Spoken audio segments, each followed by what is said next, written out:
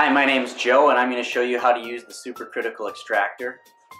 This is our supercritical extractor. It's a Teledyne ISCO SFX 2-10 supercritical fluid extractor with a 260D syringe pump, currently using liquid CO2.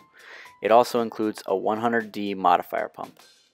Uh, I'm going to start by showing you the different components of the extractor.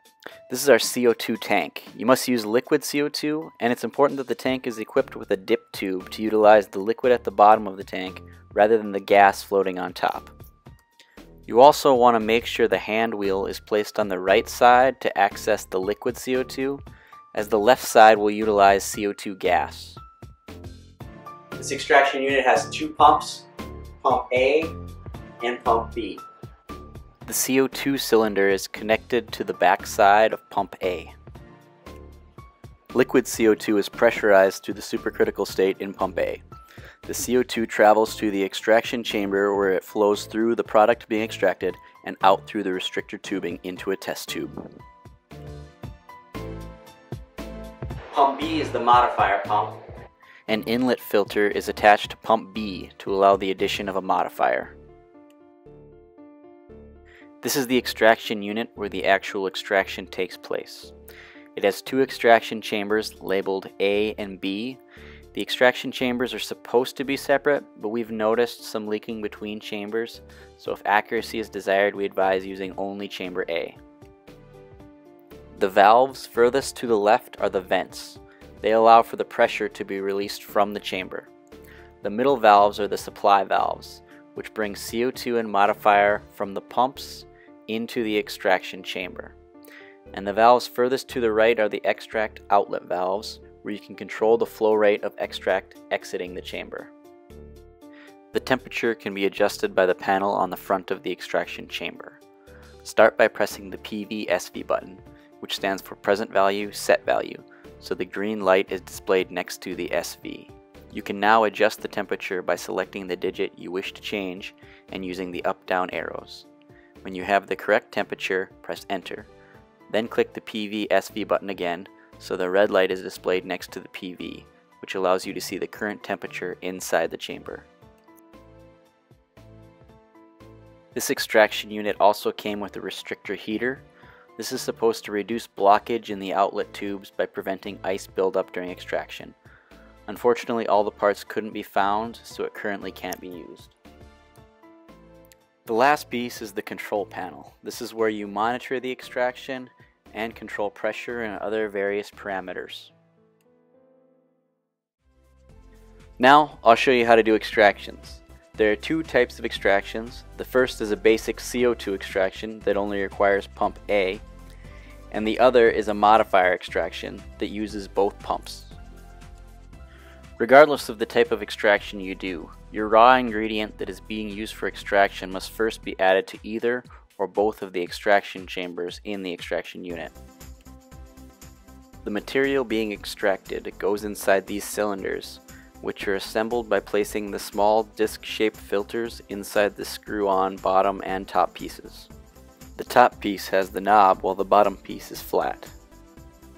The manual recommends having the filters face in the same direction each time, so some filters have an A or B mark to help with consistency. You can then fill the cylinder with whatever material you're using for extraction. Then screw on the top piece. The cylinder is then easily clipped into the screw-on lid to the chamber assembly Make sure this chamber lid contains the black, white, black rings near the connection point, as these rings are important to create a seal. The lid can then be tightly screwed into the extraction chamber. I'll show the basic CO2 extraction without a modifier first. Start by setting the controls to utilize each pump independently. First, click Menu, then A button for more options, then click 4 for multi-pump mode, and 4 again for independent. Click Enter, then the D button three times to return to the home panel. This allows you to control pump A and B independently. The next step is to add your liquid CO2 to pump A. To fill pump A, open the cylinder and the inlet valve. On the control panel, press Refill, Pump A. flow rate of liquid CO2 entering the pump is shown in the bottom left hand corner and can be adjusted by clicking the A button. The volume of CO2 in the pump is shown in the upper right hand corner. The pressure should be in the 800 to 900 psi range. If it drops below 800 psi, you may be low on liquid CO2. It will stop automatically when full. When you're done filling the pumps, make sure you close both valves. Try not to over tighten the valves because they're easily damaged. When you're ready to run, make sure all the valves are closed. The next step is to set your pressure. What you're seeing now is basically the home screen when running in independent mode. If you don't see this screen, repeat the steps previously shown to operate in independent mode. To adjust your pressure, simply press the A button underneath where it says pressure and enter the desired pressure in PSI. Now's the time to go back and double check that all valves are closed. When everything's ready to go, press run on the control panel. The control panel should show the pressure rising and the volume dropping.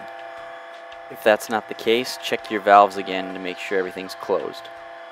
You can easily tell when the pressure is approaching the set level by the change in pitch.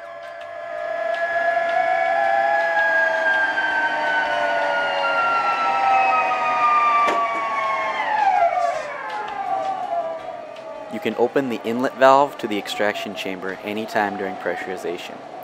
You will likely hear the pump adjusting to the opening of the valve.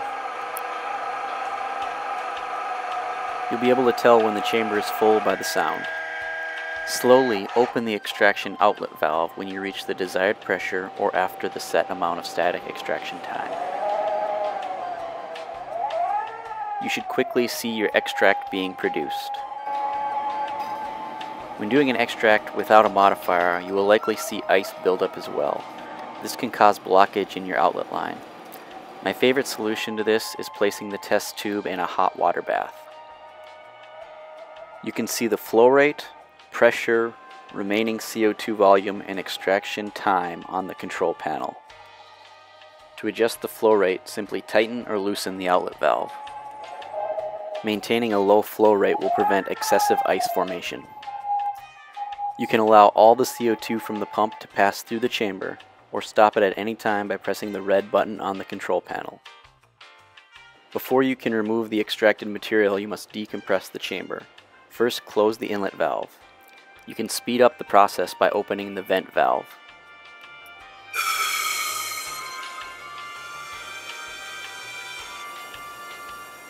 Allow the chamber to fully decompress. Then you should be able to remove your product from the cylinder. Unscrew the lid. Make sure the black and white rings I mentioned previously are not left inside the chamber. Now I'll show the extraction in modifier mode. The process is mostly the same with only a few simple alterations. First, you need to change the controls to modifier mode. On the control panel, click Menu, A for more options, 4 for multi-pump mode, and this time click 3 for modifier mode. Then press enter and D three times. This brings you back to the home panel, and now you can use both pumps in unison. The home panel is slightly different in modifier mode. It shows the set pressure, whether the modifier pump is on or off, modifier percentage, as well as the CO2 in pump A and modifier in pump B. You can also see the flow rate, current pump A pressure, and extraction time. Set your pressures and modifier concentrations. The modifier percentage and set pressure can easily be changed on the home screen by clicking the letter directly beneath each value. Fill pump A the same way we did before. Make sure you close all valves when done. To use the modifier, you have to fill up the modifier pump. Open the inlet valve on the modifier pump and make sure the tube is placed in the modifier fluid. On the home screen, press the refill button and B. The volume of modifier in pump B is shown in the upper right hand corner. It will stop when full or you can stop it manually by pressing the red stop button. Close the inlet to pump B, but don't be too forceful as it's easily broken. Double check that all valves are closed. When your pressure and modifier concentrations are set, press run.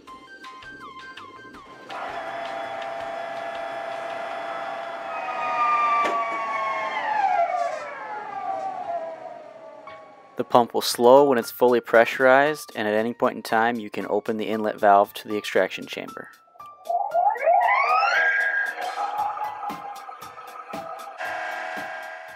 When the pressure in the chamber stabilizes, you can slowly open the outlet valve. The modifier allows for higher flow rate without any ice formation. The hot water bath isn't necessary in the modifier mode.